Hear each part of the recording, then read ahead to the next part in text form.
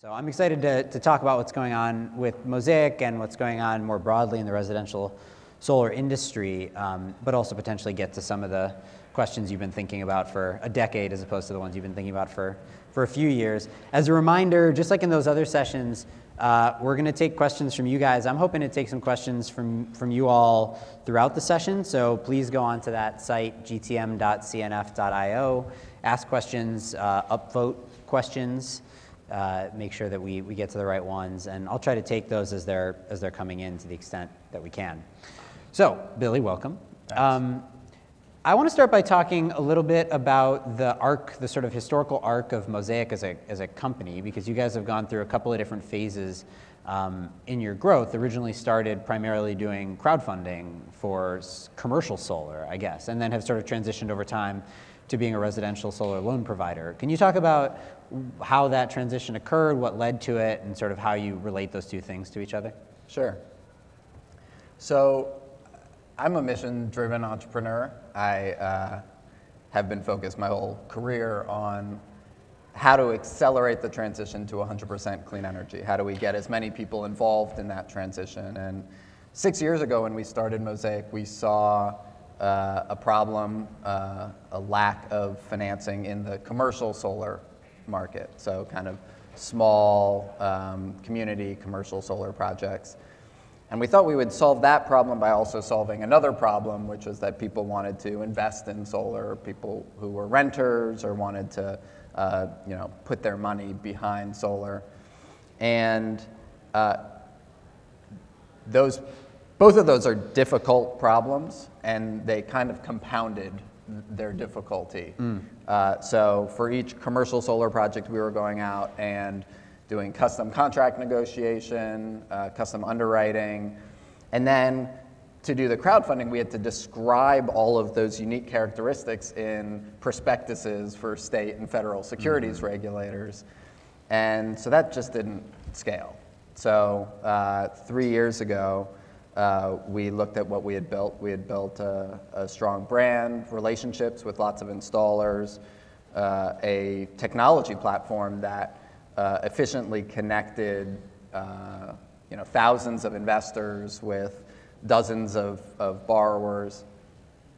And we looked at the residential segment of the market and said, you know, we can actually leverage a lot of what we've built to solve some problems in the residential segment of the market. And the problems we saw there were uh, uh, while the lease or PPA product had brought solar into the mainstream, there was no 20 year loan product mm-hmm. that matched that value proposition for a customer that's looking to save money on a monthly basis by going solar.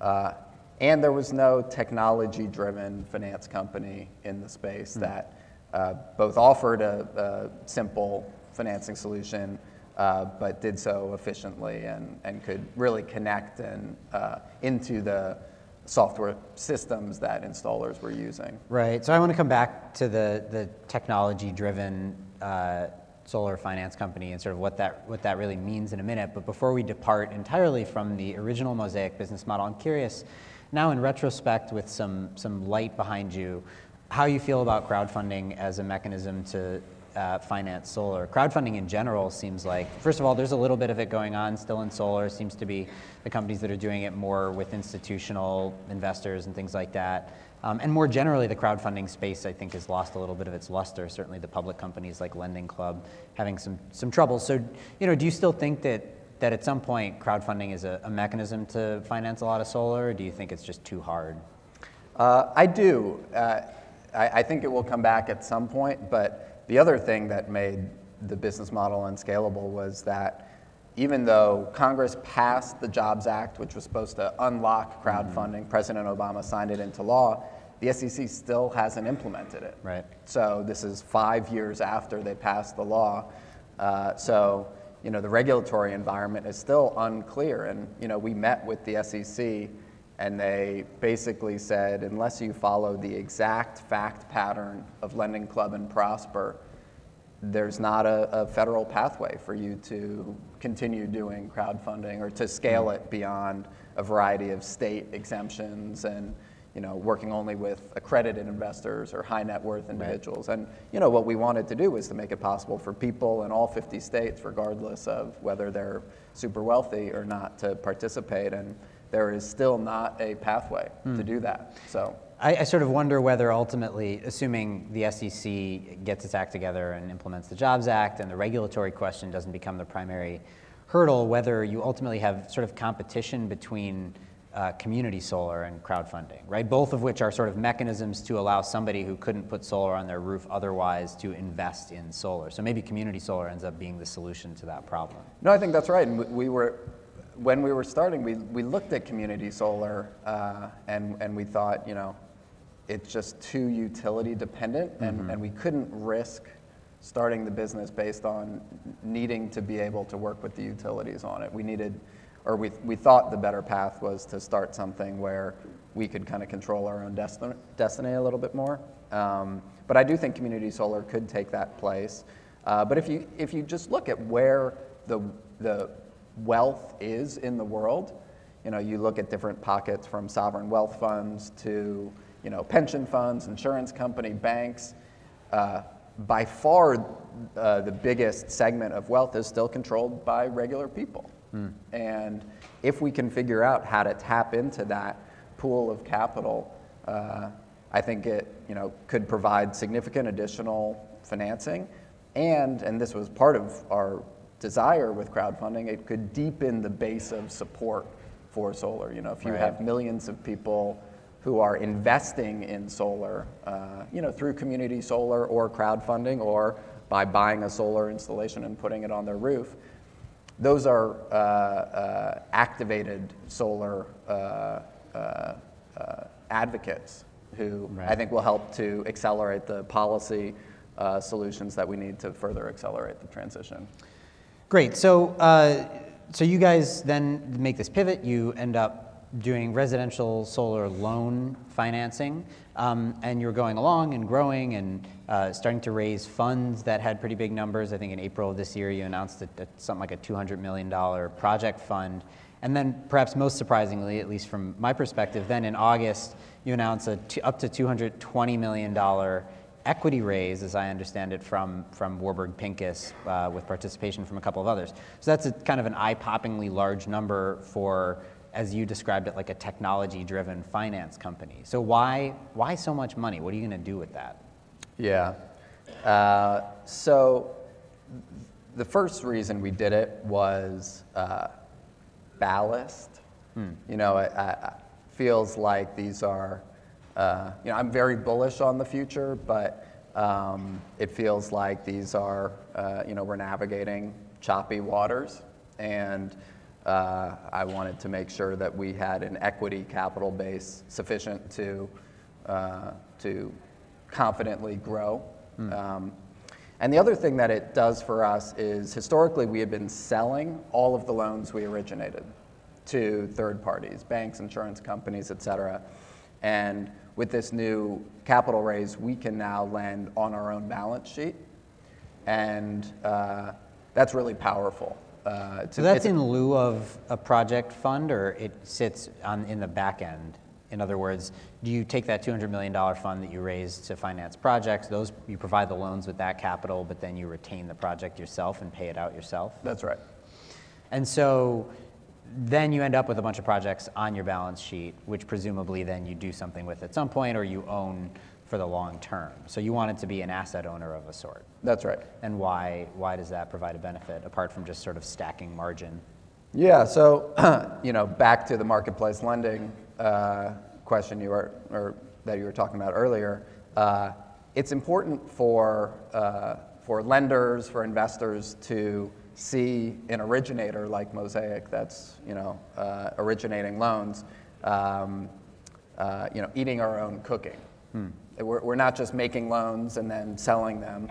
Uh, we like the assets we're originating. We're holding them on our balance sheet. So uh, it gives confidence to investors in the asset. Uh, it also creates diversification. So we're not completely reliant on other investors uh, buying all of what we're originating. We have capacity to, to hold all of it if we want on our balance sheet. So, you know, if for a variety of reasons those markets dry up, we can continue to lend. So, you know, that's the most important thing for us to have a strong equity capital base and to be able to lend through market cycles, which this enables us to do. Right. So you mentioned being a technology driven organization. What, what does that actually look like? What technology eh, are you having to build, and how does that make a difference versus another source of financing that doesn't have the same technological base? Yeah. So uh, for us, it uh, is about meeting the, our installer partners where they are. Um, so for some, they have their own CRMs, software solutions, their own quoting tools, things like that, and they just need a couple things from us to very neatly, seamlessly fit into their existing flows. Mm-hmm. For other installers, they want a lot of that from us. They want quoting tools uh, and other things. So, you know, we have customized solutions that we offer to uh, to all of our different installer partners that, you know, at the bo- at, at the end of the day, help them close customers more efficiently. That's what it comes down to. That. Mm-hmm. Uh, uh, our partners experience better conversion rates because they work with Mosaic, because we help them develop uh, uh, you know, streamline processes. So you mentioned your partners, and, and I think uh, it's an interesting time to be asking this question. You've obviously built your business off of the, the partner model, right? The model where you are providing financing to installers. You are not an installer yourselves. You're not vertically integrated. And uh, you know, I think that's sort of coming back into vogue again now, where there was a few years where it seemed like vertical integration was the direction the market was heading. Um, either this is the last of the, the waves or it's cyclical and we'll go back the other direction in a bit. But talk a little bit about why, why work with installer partners and not be an installer. Yeah. Uh, you know, there's been uh, a lot of conversation around, you know, loans and leases and, and, and that transition. Um, but I think one of the other big uh, undercurrents has been this vertical integration versus uh, you know a distributed, networked uh, uh, ecosystem. And you know our belief is that the, the market will move towards that, uh, and and that um, you know as in other home improvement categories like you know windows and doors, HVAC. Um, uh, and, and other efficiency um, uh, markets, you see a highly disaggregated uh, uh, market with lots of you know, local, regional mm-hmm. contractors mm-hmm. that uh, have built up a base of customers, uh, are efficient at marketing in those uh, local areas, are high quality installers, and you know, we're really proud to not compete with our partners for customers and really uh, just support them in running their businesses more efficiently.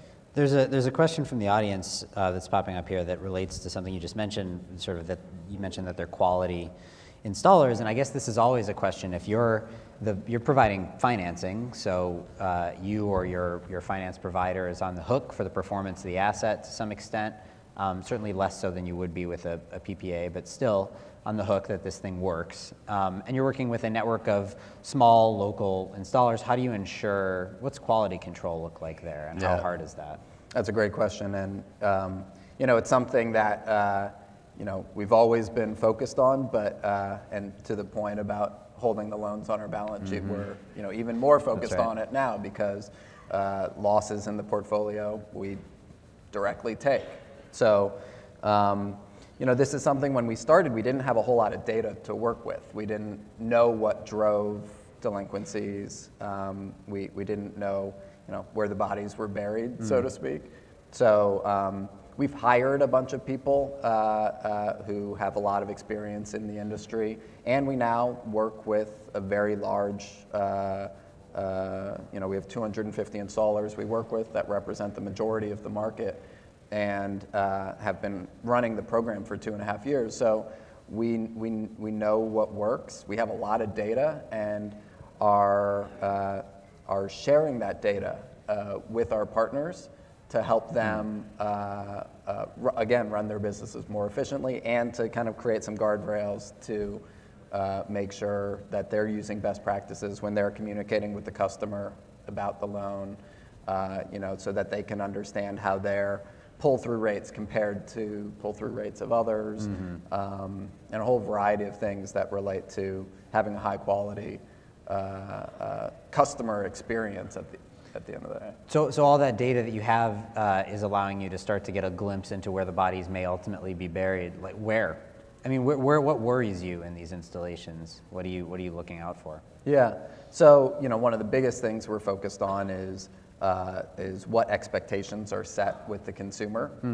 So, you know, and and uh, some companies, particularly if they're in a growth mode, they're trying to hit targets, um, and or there are just poorly trained sales reps um, who, uh, you know, don't mention that uh, uh, uh, there's a component of the loan where, uh, you know, uh, there's a principal repayment after 18 months, and they just don't bring that up at all. And so that creates an expectation, the wrong expectation with the customer that they can keep their tax credit, keep the low payments. Um, uh, so that's something that we've been focused on. Um, What about um, explaining to the customer about the, the risk of rate structure changes or even the, I mean, in California, which is a lot of the business for you guys and everybody else, uh, pending time of use rates Yeah. is something that we've heard anecdotally makes it a little bit more difficult to sell solar to the customer because you have to sort of explain to them, well,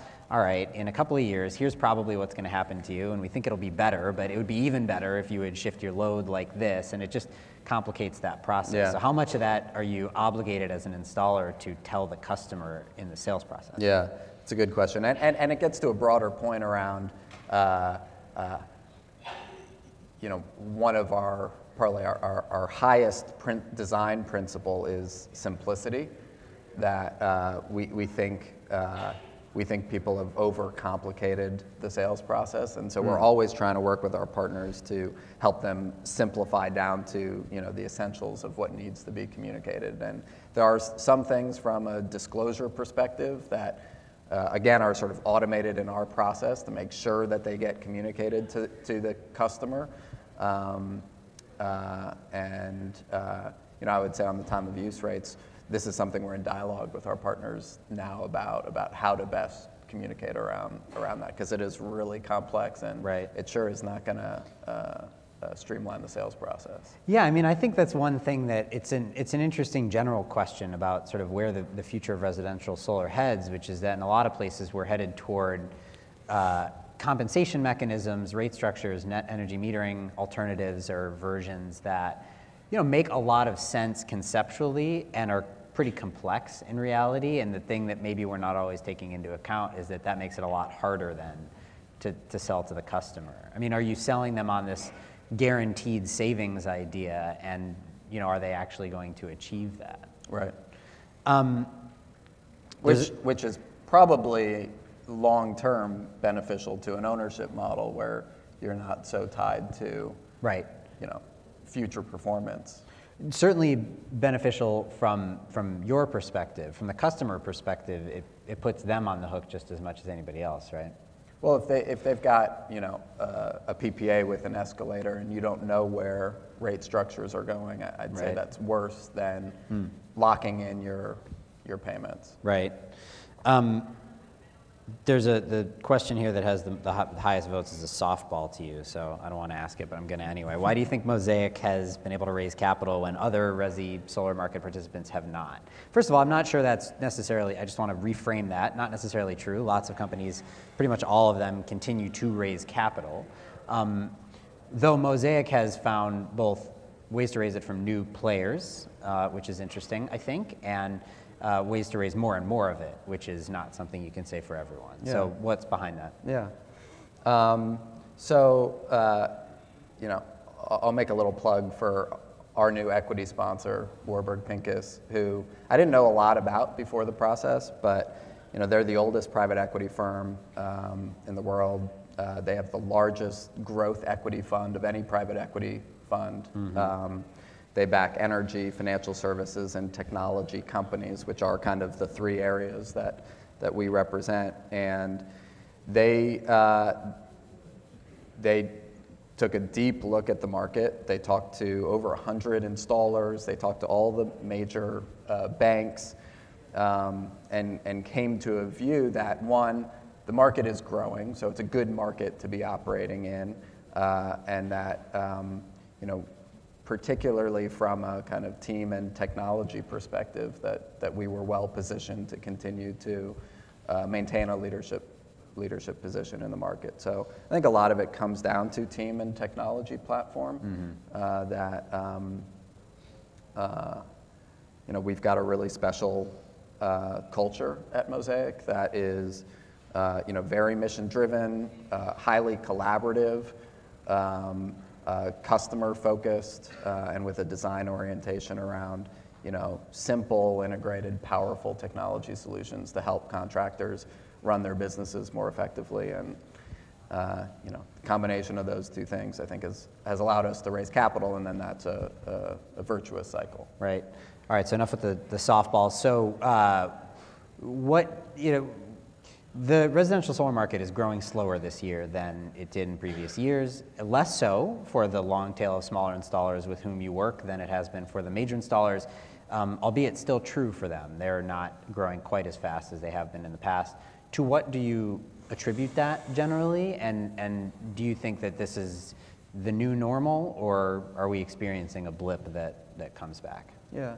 So I think some of it relates to the last question, where it has been harder to raise capital mm-hmm. uh, in this space. Um, you know, uh, SunEdison's bankruptcy was a part of that. Um, you know, just volatility, uh, low, you know, low commodity prices, a whole range of factors have just made it harder to raise both debt and equity in mm-hmm. the space, uh, which has impacted not only, uh, you know, has impacted the largest companies the most, but you know, a lot of the you know local regional uh, installers we work with have also had a harder time raising the capital they need to continue to grow, and that seems to be changing. We, mm. We've seen.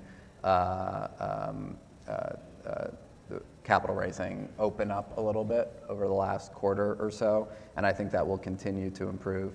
I think actually uh, capital markets have been pricing in uncertainty around the elections. Hmm. I, I, think, um, you know, there, there uh, still is, although it's it's seems less less likely now, a, a path where you know, we could have a, a, a less favorable policy environment. And, uh, and I think some of that is psychological and, yeah. and, and subconscious, but um, you know, I, I, think, I think we will soon have a, a new president who has a goal to take us from 35 gigawatts installed today to 140 gigawatts by 2020. Uh, and I think we're going to go through a very uh, another big solar boom. Mm-hmm. Um, final question for you relates to something we were talking about before, and it's in one of these audience questions. I sort of wanted to ask it as well, so I'll try to combine it all, which is it has to do with sort of consumer protection. This is uh, this is going to become an issue the federal government will have to deal with. Actually, the next president will have a role to play here because the FTC has uh, held a hearing earlier this year about consumer protection in, in rooftop solar. Um, and how to make sure that, that consumers know what they're signing up for. One of the questions here is what limits do you impose on installers' sales proposals about things like what they tell the customer about annual utility rate increases? So, how are you thinking about as you're working through this network? What do you tell your installer partners to make sure that the consumer is protected when they make a decision like going solar? Yeah, that's a great question.